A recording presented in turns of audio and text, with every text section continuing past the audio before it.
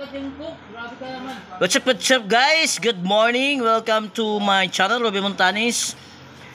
This is Pansit from Wow Cow Foods. From the heart of Justin. Thank you so much for the blessings, Justin. For your despedida. Thank you so much. Uh, God bless you always. Uh, thank you in your behalf sa pagsama namin pag dito sa sa Pasay branch. Thank you for your good heart and good blessings. More power to you. And more prayers to come into your life and to your family. And the behalf of Pasay branch, thank you so much for your good support and good effort to us.